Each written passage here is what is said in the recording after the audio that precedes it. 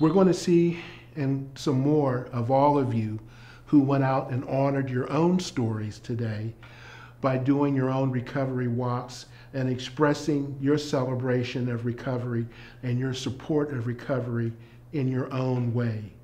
Let's see some photos. And remember, if you have photos or messages that you wish to share that you haven't had a chance to share yet, now's the time. Keep sending them in. Use the hashtag MyRoadPGH to help us find them.